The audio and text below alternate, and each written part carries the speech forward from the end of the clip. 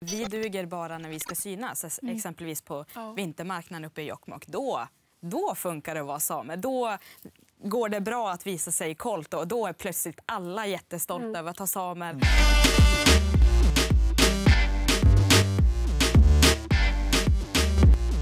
Idag ska vi ju prata om rasism mot samer och hur det är att vara same i Sverige. Och då undrar jag, har ni någonsin upplevt rasism? Ja, man, i alla forum nästan. Att man möter på i vardagliga sammanhang. Som att eh, fördomar framför allt, hur en same ska vara, hur en same ska se ut. Och det är som en checklista på hur en same ska, om den ska ha renar som Alva sa och prata samiska. Och det är många sådana här aspekter som de tror ska forma en same. Eh, generellt typ att bidragstagande och att samer inte kan dricka. Det är jättemånga skumma kommentarer man får. Mm. Men kan du, alltså vad är den typiska kommentaren eller reaktionen du får när du berättar till någon att du är same? Vad brukar folk säga? Det är nästan som att, det beror på var man är. Mm. Om jag är hemma i Kiruna på, i ett festligt sammanhang, då är det nästan motstånd man möter. Att det är en sorts av rasism att jag måste som representera hela samiska kulturen och det samiska folket även fast de inte, eh, inte ser någon... Eh, alltså tar inte någon hänsyn till om jag tillhör den renkötande samegruppen eller inte. Utan jag måste som försvara rovdjurspolitiken och även markerna. Och, men även om, om jag berättar till att jag är same i södra Sverige så blir det en helt annan rasism, nästan extrofiering. Mm, och vad brukar folk göra då eller säga? nästan som att man någon, någonting unikt. Man måste ta bild med mig, man måste mm. typ nästan på det sättet. Så fort man bär kolt så smygfotas det eller man, man går lite på sidan. Man bara, oh, kan jag få ta en bild med dig? Och lite sådär. Mm. Mm. Och hur känns det?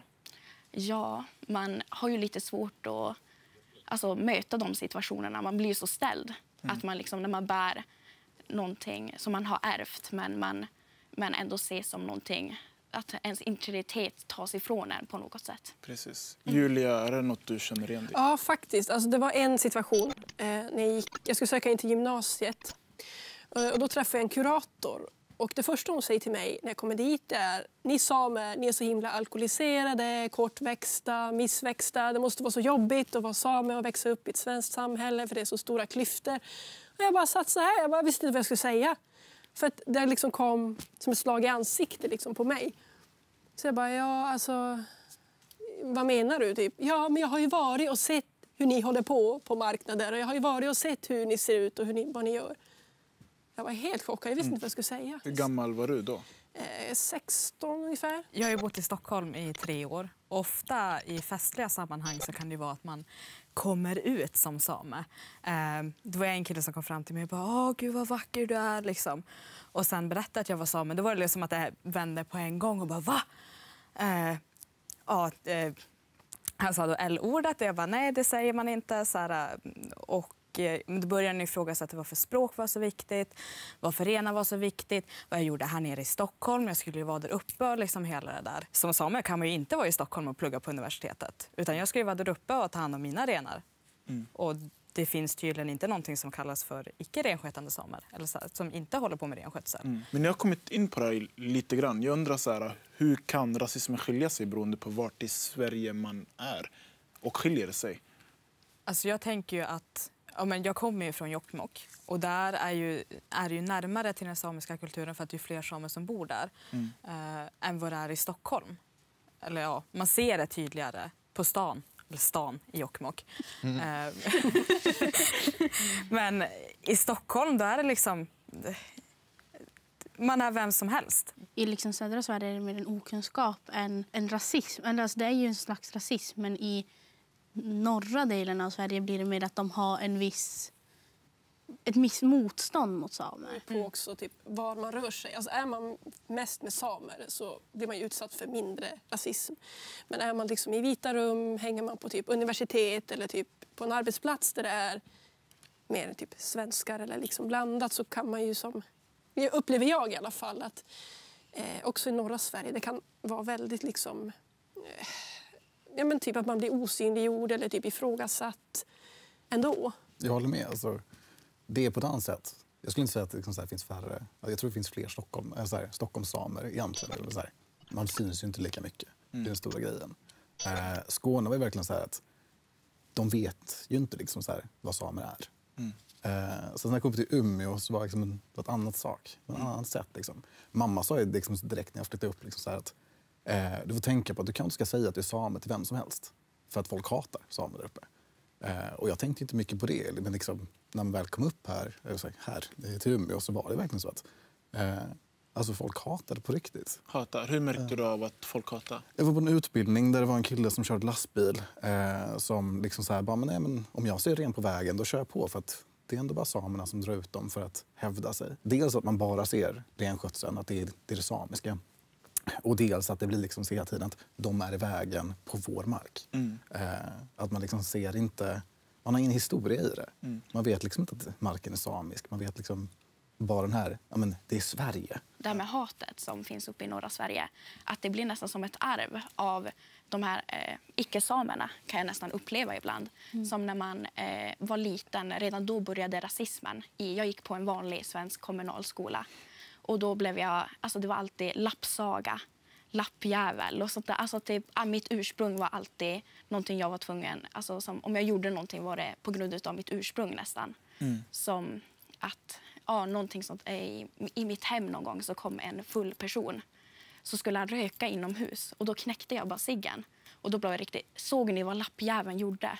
Den där lappjäveln och allting. Det var som att min, mitt ursprung fick tas försvar, allt man gör. Ja. Men hur Så- påverkas, man, eller hur påverkas du av det? Det blir ju också en ständig kamp när man ifrågasätts hela tiden. Kan jag uppleva.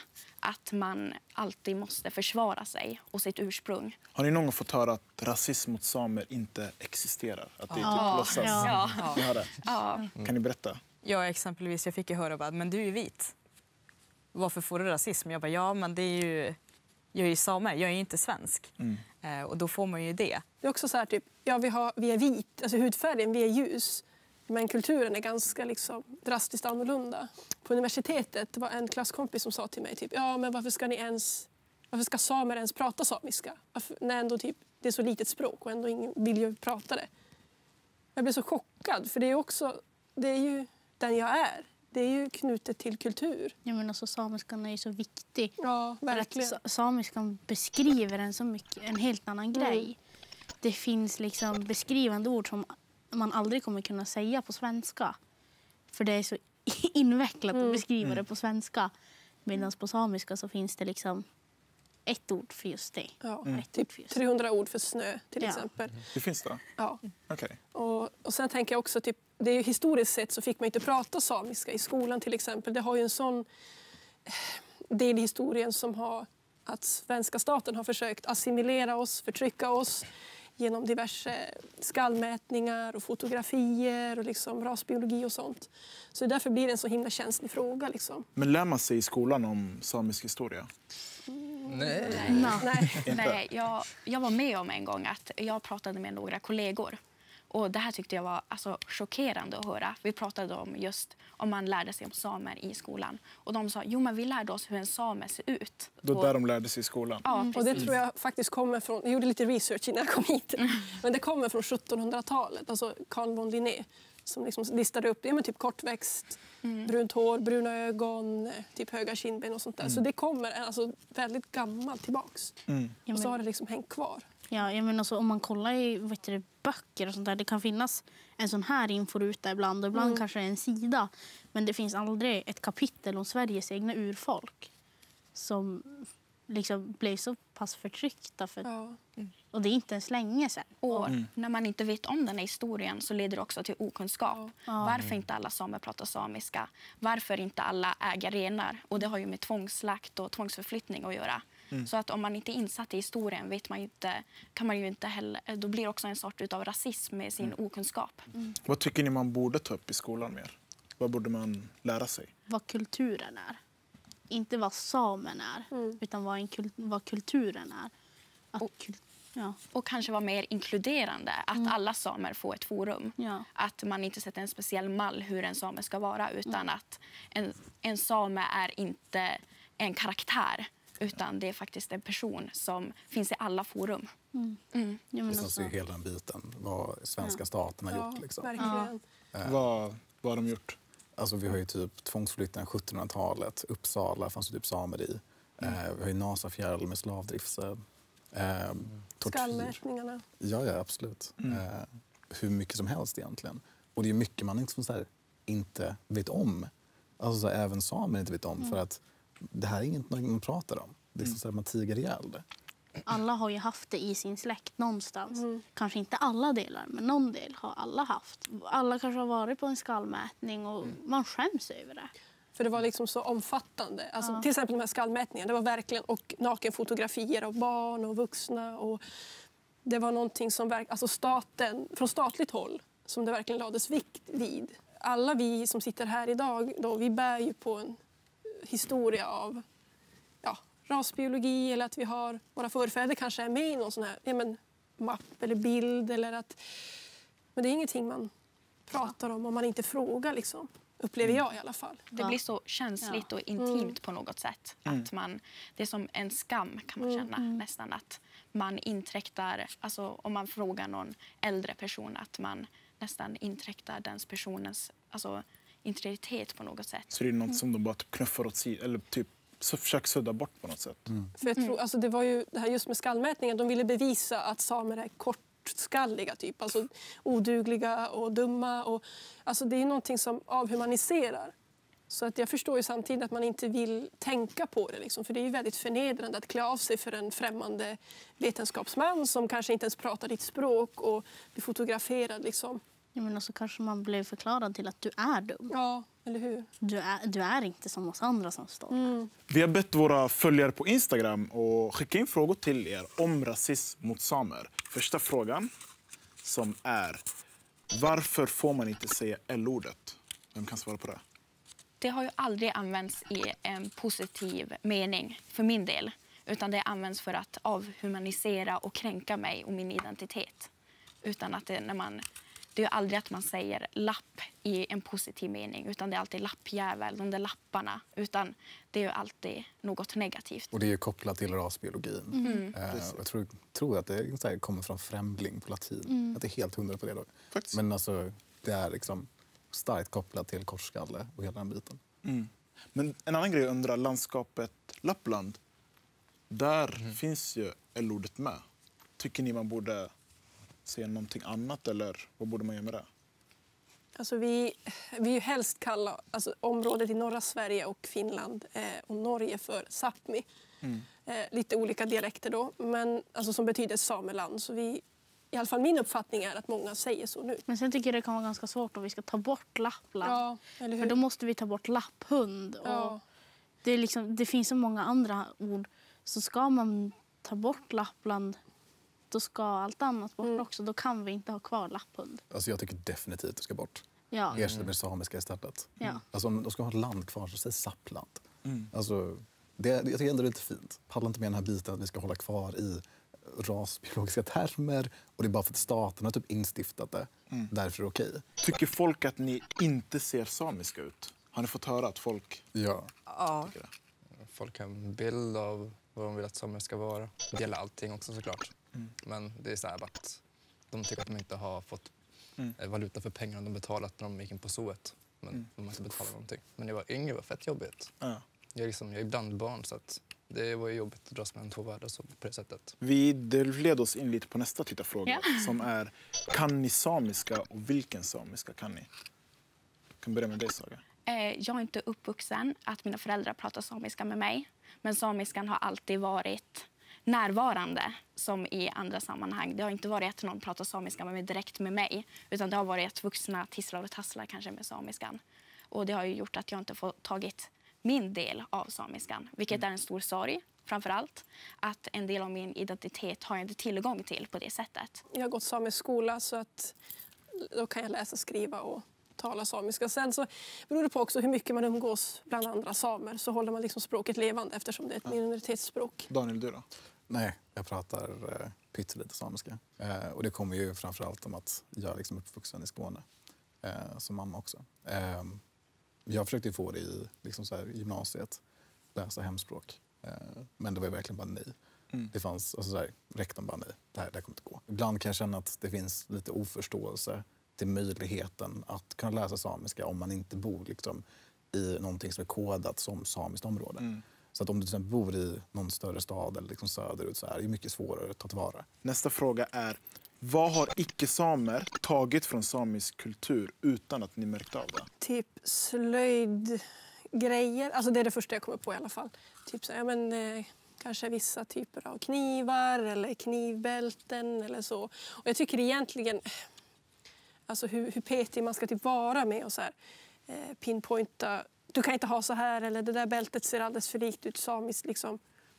Så det är ganska hårfin gräns där hur man, ja, hur man ska värdera. Liksom. För samtidigt är det ju bra att det samiska syns. Men då är det ju bra om samerna tjänar på det själv. Men som det ser ut nu med just en del hemslöjdsgrejer så får samer ingen cred för det. Trots att det är det. Mm. Vad säger ni andra? Jag har inte märkt av det så mycket. Jag tycker det är rätt skönt egentligen. För att jag menar, jag hade inte velat ha det som liksom, native americans har. Att om de går på en festival så går folk runt med deras huvudbonader på sig. Det är hemskt. Det har blivit mer uppmärksammat med samiska detaljer, tycker jag, som slöjd framför allt. Och då kanske jag tycker att man ska vara lite försiktig med att vad säger den här slöjden om mig? Från vilket, alltså slöjden visar vilket område man är ifrån och så vidare. Så där tror jag nästan eh, gränsen, alltså min personliga, att vad man får ta från den samiska kulturen eller inte. Som om man går med Kare Svandoskoband, att en svensk, det säger ju om vars du har din, dina rötter och så vidare. Så det tycker jag att det är inte alltid, det blir lite mer känsligare. Så det är där du drar gränsen? typ? Jag har inte rätt, att, tycker jag själv, att säga var gränsen går. För alla har ju sin egna uppfattning. Men jag tycker att eh, man kanske ska vara lite respektfull. Ja, men alltså, slöjden kommer ju väldigt mycket från olika släkter. Alltså, s- som min släkt har, har en detalj på kolten som kanske ingen annan släkt har. Och då om någon tar den blir det ju som en... Det blir ju konstigt för då ser det ut som att de kommer från min släkt. Då de inte alls gör det. Men på tal om kolten så har det ju funnits, jag vet inte om ni har sett, det har ju funnits såna utklädningssidor där de, där de har så här fake koltar. Men där, Ja. Glöm, glöm vad jag sa tidigare. Alltså, kolten, alltså det, Gakti då, det är ett väldigt känsligt område för väldigt många samer eftersom det är starkt kopplat med identitet, den jag är.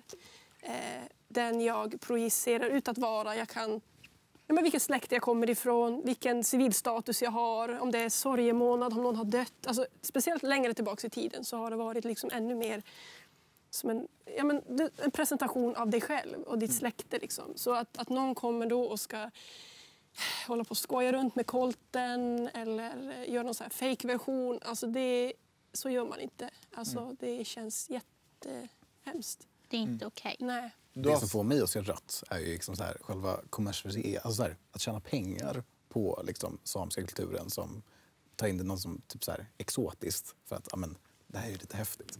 Och det ser man ju liksom ganska ofta. Liksom så här, vi har ett brödmärke i Sverige som använder ren, liksom, som tar samiska namn utan koppling, vad jag vet, till samiska och bara kör, ja men det här, det här är typ samiskt.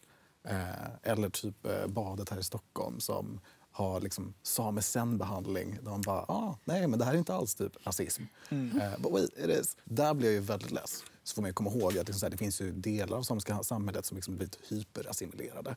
Eh, och liksom deras väg in tillbaka är ju svår. Speciellt liksom kolten om vi då ska prata liksom så här, vilken släkt man kommer ifrån. Om man inte har levande släkt liksom, som har, vet exakt hur det ska se ut. Eh, och där kommer vi att ha problem, har problem liksom, med yngre samer som vill ta tillbaka samiska men inte vet hur och ibland inte vågar. Liksom. Eh, där jag känner att det nästan blivit en större tröskel eh, liksom så här på vägen tillbaka för yngre vara. Det är intressant att du säger det, för jag tror jag har funderat ganska mycket på vad det är som gör att vi liksom håller så krampaktigt och har lite svårt ibland att släppa in de som vill då börja liksom ta tag i sina rötter igen. Jag tror att det har att göra med dels kolonialism, att det mesta liksom har blivit taget av oss, språket, marken, jojken, religionen till exempel. Och då vill man liksom bara hålla det för sig själv. Och då blir det ju, alltså en sluten hand kan ju inte ge och ta utan det, det blir inte så bra. Utan jag tycker man måste vara mer transparent.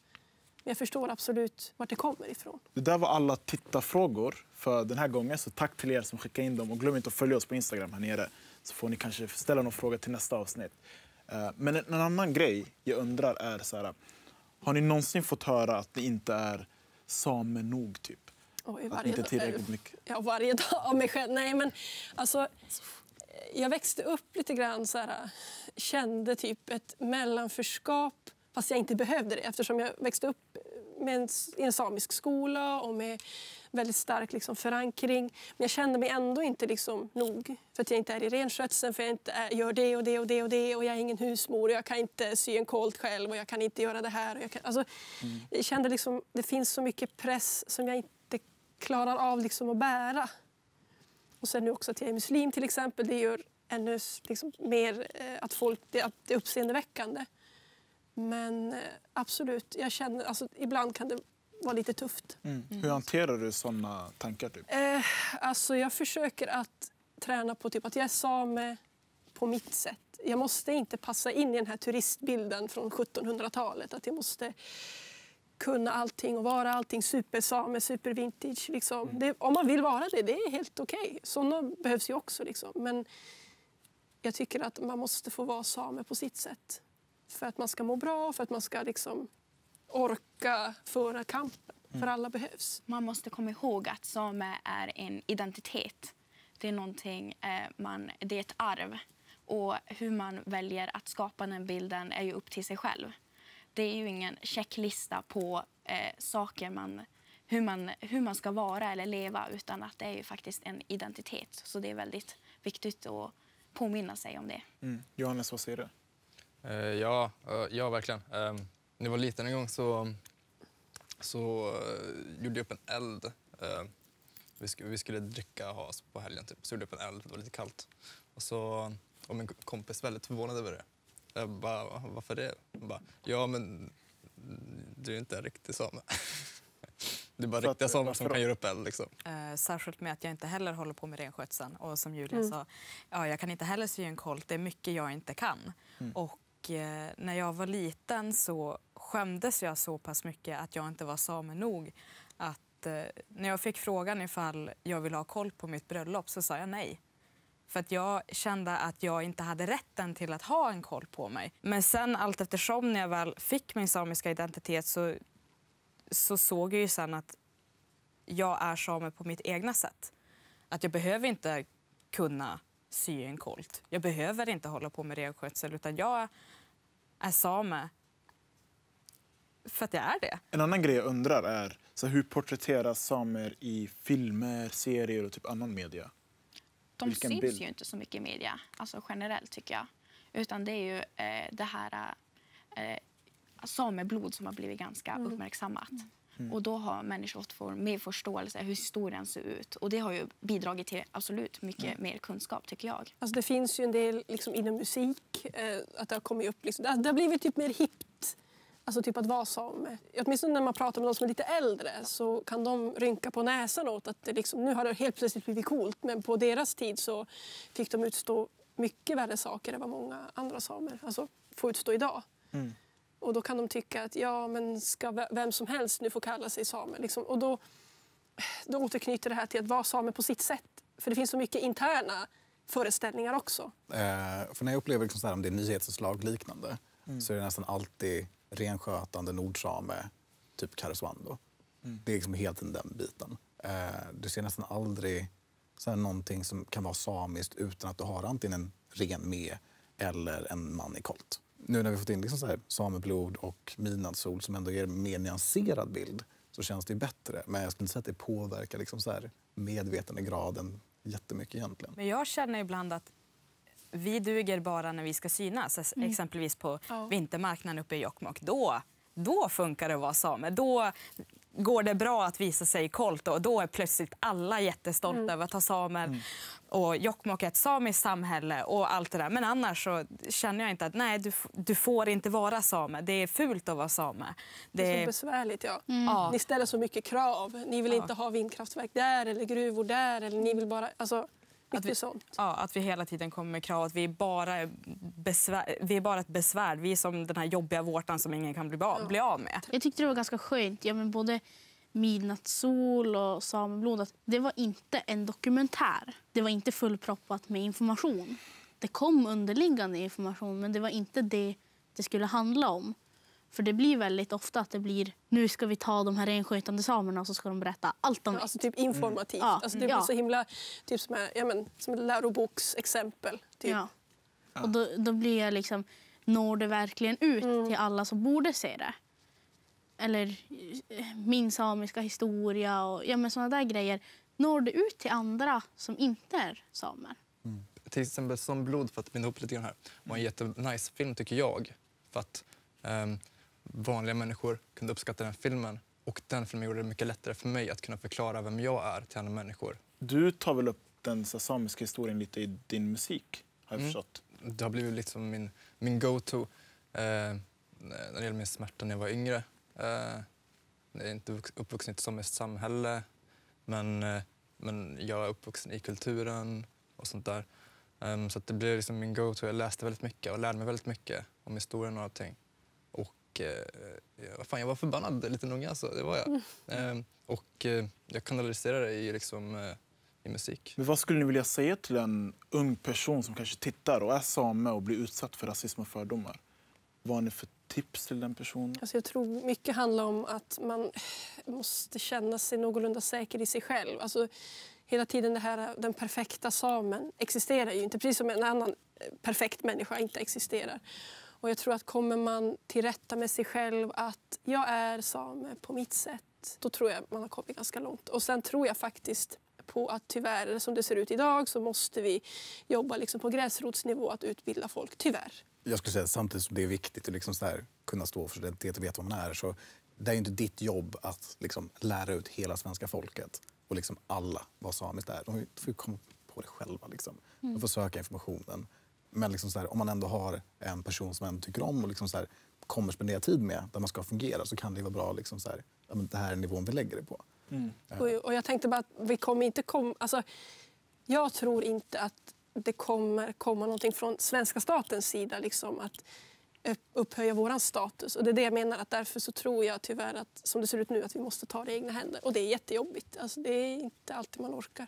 Ja, Men också är det väl väldigt enkelt för oss som sitter här nu och säga du måste vara säker i dig själv. Ja. Men att liksom verkligen tänka efter att vem är jag som same? Är jag... Jag är ju kanske inte den som håller på med renskötsel. Men jag kanske är den som eh, älskar att jojka. Eller hitta sin väg in i det samiska. Och liksom... Man gör liksom plats för sig själv. Mm. Att få existera i sitt utrymme. Vad säger du, Saga? lita på sig själv. Att man är trygg i sin identitet.